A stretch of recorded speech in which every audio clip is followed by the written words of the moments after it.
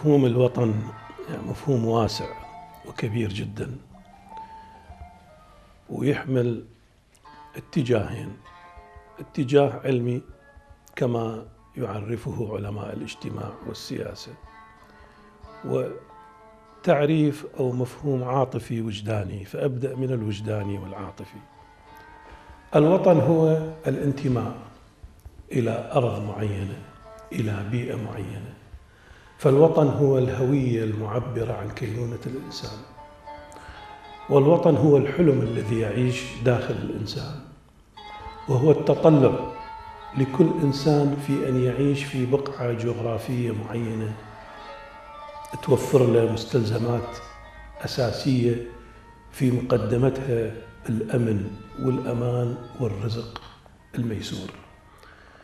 طبعا هناك أشياء أخرى يجب أن تتوفر لكل إنسان يبحث عن وطن وهي العدالة والمشاركة والدور الفاعل في المجتمع وتحقيق الأمنيات والأخذ بالأسباب.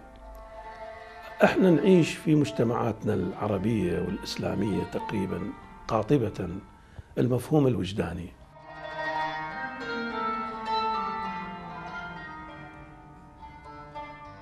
المفهوم الوجداني يطغي على المفهوم الآخر العلمي لأن إحنا أوطان عشنا في أزمات كثيرة وشهدنا صراعات كثيرة وشهدنا حقب من الاستعمار والهيمنة والحروب والأزمات القاتلة والتهجير والمشاكل الكثيرة فهذه كلها أثرت على وضع المفهوم وصياغته. أما علماء الاجتماع فيعرفون الوطن على أنه بيئة جغرافية محددة يعيش بها الإنسان وعلى أن تتوفر في هذه البيئة مستلزمات حياة الإنسان الأساسية من أمن وغذاء وخدمات أخرى. محتاج أطير ويا الهوى أوصل على بلادي ويا أذان الفجر يا محلى بغدادي. عندما هاجر رسول الله صلى الله عليه وسلم من مكة إلى المدينة وقف على مشارف مكة وقال والله لا أعلم إنك أحب بلاد أحب البلاد إلى الله وإلى نفسي. ولو لم يخرجوني أهل مكة لما خرجت منها. هذا القول عظيم جدا يعني هذا يأسس لي مفهوم وطنية في العالم الإسلامي الوطن هو الحلم الذي نسعى لتحقيقه على مر الأزمان. هذا يحملنا طبعا إلى جوانب كثيرة أخرى وهي انه الإنسان ليش يترك وطنه؟ وليش يهاجر؟ لأن أحد مستلزمات الوطن أن يوفر بيئة آمنة وعيش سهل وميسور للإنسان. إذا الإنسان افتقد الأمن وافتقد مقومات الحياة فالله سبحانه وتعالى دعا إلى أن يسافر ويرحل في بلاد الله الواسعة للبحث عن الملاذ. اذا الوطن هو الملاذ. اذا الوطن هو الملاذ.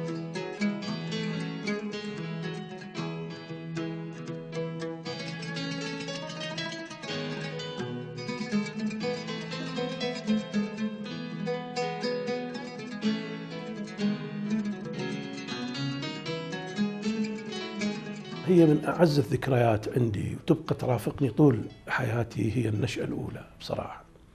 أنا نشأت في العراق في مدينة تابعة إلى محافظة ديالة هذه المدينة اسمها مندلي. ومندلي تقع إلى الشرق من بعقوبة اللي هي مركز محافظة ديالة بحوالي 80 كيلومتر وتقع على حد الحدود العراقية الإيرانية مباشرة. مدينة مندلي مدينة بسيطة وما زالت بسيطة.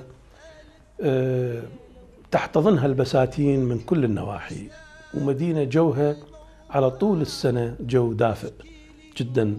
ما شفنا بها برد قارس ولا شفنا بها حر شديد جدا.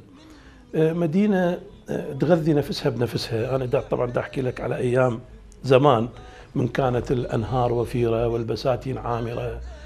ونشأت أنا في هذه البيئة تقريبا هي يعني بيئتي العائلية شبه زراعية قروية لكن هي مدنية.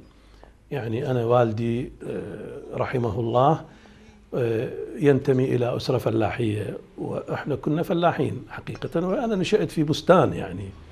ف 18 سنة الأولى من حياتي نشأت في هذه المدينة الصغيرة لكن مع صغر هذه المدينة كان فيها مكتبة عامرة لطلاب المدارس. كان فيها مراكز صحية جيدة تفي بالغرض كان فيها خدمات ومرافق أساسية من مياه وكهرباء إلى آخره لكن هي مدينة بسيطة جدا. مشتاق للأيام والحب الحقيقي الأول. مشتاق للطيبين نحكيهم أبد ما يتبدل. للذي لا يعرف مندلي هي مدينة أثنيات. مدينة تعيش بها قوميات متآخية متحابة متسالمة.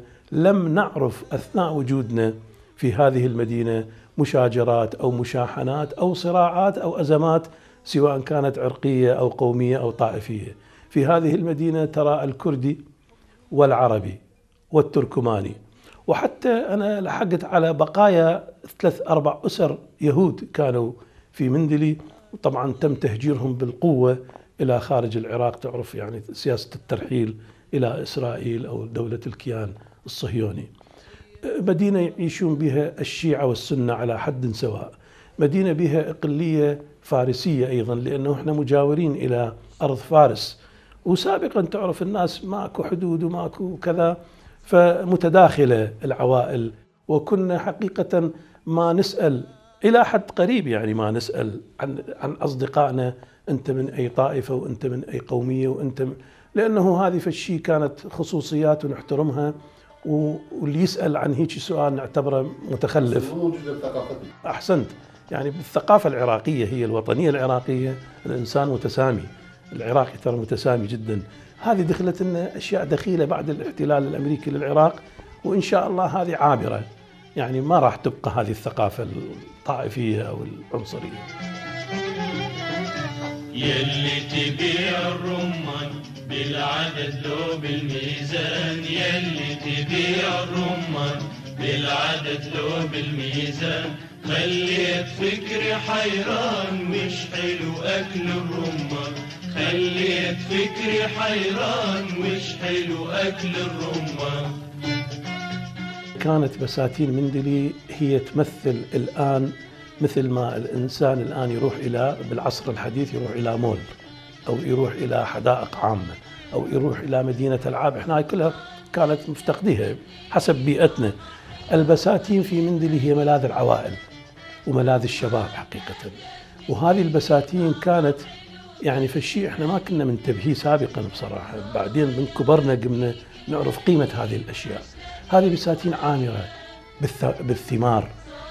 وأنا بعد سنين طبعا قمت أحكي إلى يعني عائلتي وأصدقائي إنه كيف كنا ندخل هذه البساتين من أبوابها المفتوحة. وبالمناسبة 80% من البساتين بلا أسيجة. الناس تدخل وتأكل لكن أكو في الثقافة وأكو تقاليد تربينا عليها إنه إحنا ما يعني ما ناخذ شيء خارج هذا البستان. يعني ممكن أن نقعد بالبستان. وناكل ما نشاء من الرمان طبعا مدينة منديلي مشهورة بالرمان درجة أولى طبعا معروف. حتى في أغنية قديمة رمان بلدة مندلي رمان بلدة مندلي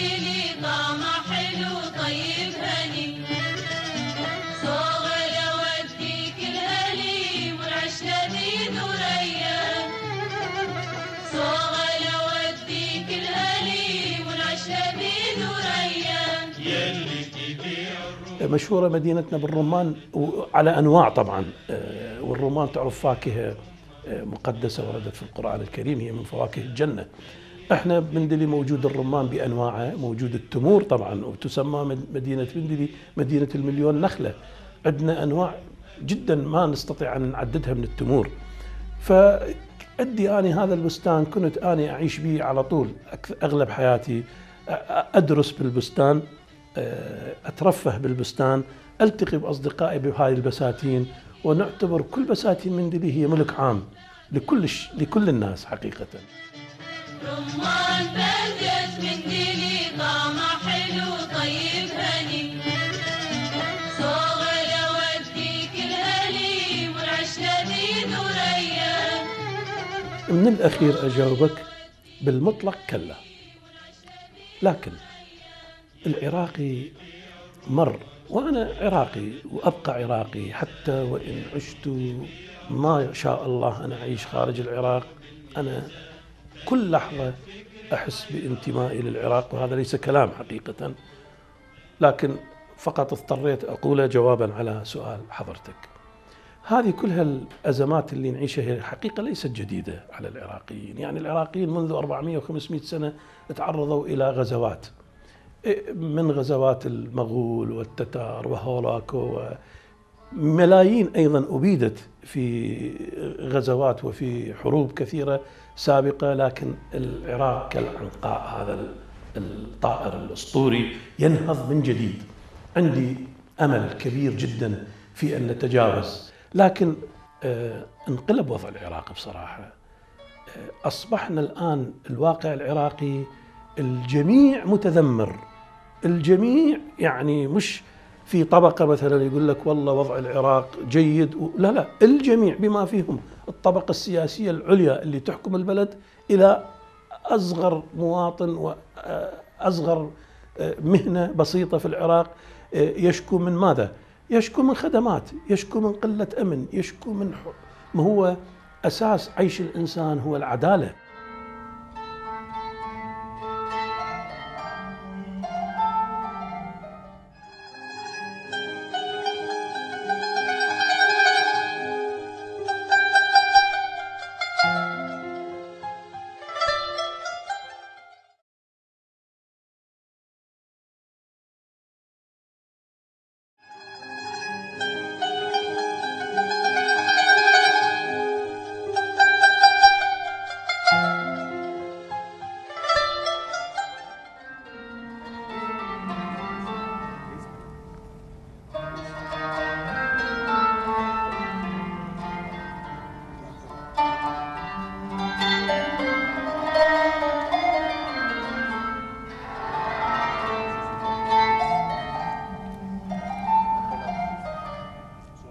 طبعا خريج جامعة بغداد في مرحلة البكالوريوس والدكتوراه وأنا خريج جامعة كيل في بريطانيا في مرحلة الماجستير. خلصت تعليمي الابتدائي والثانوي وال- في مندلي أول 18 سنة من حياتي في مندلي ثم ارتحلت إلى بغداد بحكم الدراسة وكملت البكالوريوس في بغداد ثم عملت حقيقة في آه، مؤسسات إعلامية ورسمية وصحفية. آه، مدة طويلة جدا تقلدت مناصب أيضا مسؤولة يعني تقريبا أقدر أقول متقدمة في الوظائف. أنا كنت معاون مستشار صحفي في لندن في التسعينيات وأنا المستشار الثقافي للعراق في سفارة جمهورية العراق من ال 2000 إلى ال 2003 في موسكو. آه، وكنت محاضر في قسم الإعلام في كلية الآداب في جامعة بغداد. كنت مدير دائرة الإعلام في وزارة التعليم العالي والبحث العلمي. كنت باحث متقد... باحث أقدم حقيقة في مركز الدراسات والبحوث التابع آنذاك إلى رئاسة الجمهورية عضو نقابة الصحفيين العراقيين منذ سنة 76 عضو اتحاد الكتاب والمؤلفين العراقيين من المؤسسين لجمعية الباراسيكولوجي العراقية في عام 92 آه، عندي نشاطات حتى قبل هذا التاريخ مجتمعية في اتحاد العام لشباب العراق وفي الاتحاد الوطني لطلبة العراق. طبعا هذا كله تاريخ يمتد إلى 2003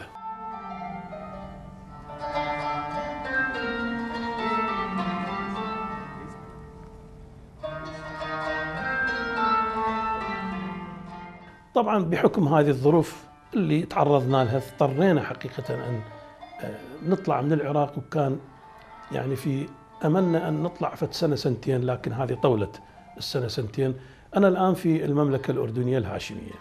أعتبر يعني هذا هو أيضا بلدي الثاني أكرمون الهاشميين والأردنيين النشامة حقيقة ووجدت فرص عمل. الآن أنا أحاول أن أعكس موقعي في جامعة الشرق الأوسط. أنا كنت عميد كلية الإعلام في الجامعة والآن نائب عميد كلية الإعلام آه، رئيس قسم الصحافة. عندي صفحة بالفيسبوك اسمها ميديا الشرق الأوسط استقطبت بها عشرات الطلاب حقيقة من العراق وقبلناهم في جامعتنا وكانوا يبحثون عن دراسات عليا وعن قبول وسهلنا لهم كل الإجراءات. يعني آه، كثير الآن عندي أصدقاء من العراق وكأنما أنا عايش بالعراق بصراحة.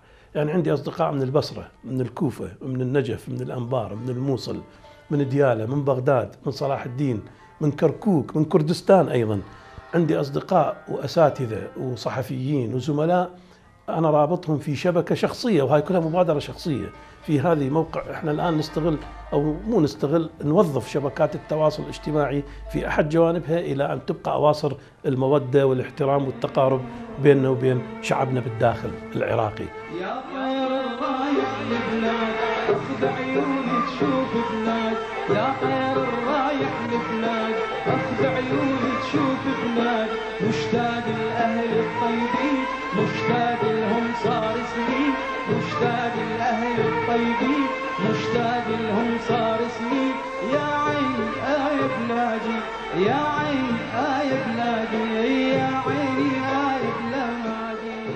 أنا كل سفراتي كانت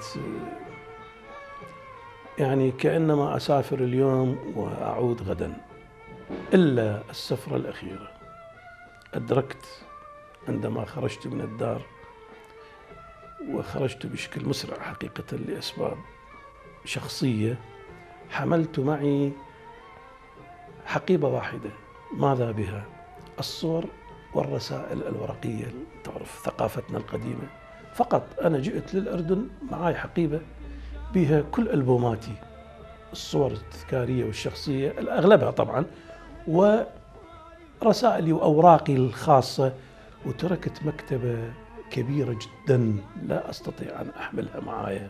فنظرت إلى الدار وكان في داخلي صوت يقول ربما هذه النظرة الأخيرة لكن ما أتمناها تكون الأخيرة. يعني إن شاء الله عندي أمل أن وعدنا أمل أن نرجع إلى ديارنا والديار بالمناسبة وردت في القرآن الكريم كبديل أو رديف عن الوطن الذين أخرجوا من ديارهم بغير حق. فأنا طلعت من ديارنا لكن في قرارة نفسي كنت وأنا أعبر الصحراء والسيارة إلى آخره باتجاه الأردن يمكن ألقي نظرة وأقول يا رب اكتب لي العودة بسلامة إلى بلدي. هذا الموقف هو اللي يهزني ويبقى دائما يعني في هذا الموقف هو اللي يهزني ويبقى دائما يعني في ذاكرتي. لو بعدنا يا وطن يا وطن والله والله يا والله حيرة بعدت عنا لو بعدنا يا وطن والله حيرة. الغربة وحشة ولو هي جنة وفرقتها كلش كبيرة. ما أسمح حتى لنفسي أن أتجاوز انتمائي العراقي لأنه هذا يعبر عن هويتي وهذا ليس حقيقة عنصرية هنا نفرق مو عنصرية هذا حب يعني من مستلزمات المواطنة أن أنت تحب وطنك ويكون عندك ولاء لوطنك ويكون عندك احترام لقوانين بلدك ويكون أنت في أي مكان تكون بالعالم سفير. والله أنا أفرح من أشوف بالمحيط اللي أنا أعيش به خارج العراق أنه نماذج عراقية يقتدى بها ويحتذى بها. أشعر أنه هذا رصيد إلي يعني صار إلي هذا الرصيد. وطبعا بنفس الوقت أتأسف عندما أشوف تصرفات عراقية يعني تثلم من الصورة اللي أنا حاملها إلى وطنيتي. فبالتالي هذا ما بمجال للنقاش. قضية حب الوطن هذه ما لها مساومة يعني. لكن أن تسألني أنت مرتاح في الأردن من الناحية الاجتماعية أنا مرتاح جدا الحمد لله والشكر. عندي بيت بفضل الله سبحانه وتعالى وعندي راتب وعندي أسرة بسيطة عندي مصدر رزق. وعندي إحساس داخلي هي بديل عن الوطن؟ لا. لو كل أملاك الدنيا تجيب لي إياها لا تعوض الوطن. بس ما لك بديل آخر يعني. يعني الآن لو تقول يعني أنا أحلم إنه تعرف يا محلى إنه ترجع إلى طلابك وإلى جامعتك وإلى مؤسستك. مع كل هذه الأوصاف اللي عندي في الأردن يمكن يجوز أنا وضعي ما أعرف أنا يعني من الأردن من جهة أنا رئيس قسم وعميد كلية إعلام وأستاذ عضو هيئه تدريس ولكن كل هذه العناوين وكل هذه الامتيازات آه، هي ما تعوض حبك لبلدك. هي ما تعوض حبي أنا لوطني ابدا. بس وين الوطن اللي أنا أترك هذه الامتيازات وأرجع له؟ وهذا يعني كثير من الناس حتى من نوبات يعني أتخاطب وياهم شبكات التواصل الاجتماعي يعني يطلبون مني أساتذة كذا فرص عمل مع أنهم في مراكز متقدمة أقول له ليش؟ يقول والله ما أصبحت يعني صحيح اني راتبي ضخم بس أعيش حياة أمنية غير مستقرة إلى آخره، فهذا هو السبب بصراحة. خايف للعمر يقضي ترى وخوفي ما نوصل وطننا ولو وصلنا هناك خايف نلقى خلصانة أهلنا. عندي وطن اسمه العراق. ويعيش في ذاكرتي ويعيش في خيالي ويعيش في حلمي. وهذا العراق أنا دائما حتى أكتب في الفيسبوك أقول أنا لا أكترث بكل هاي الدعوات اللي تدعو إلى تقسيم العراق والأقاليم ومدري شنو. أعتبر هاي كوابيس وأحلام. شلون أنت تعيشها وتنهض من النوم تشوف كل اللي شفته من أحلام كان كوابيس. العراق يبقى عراق لسبب. أسباب كثيرة طبعا.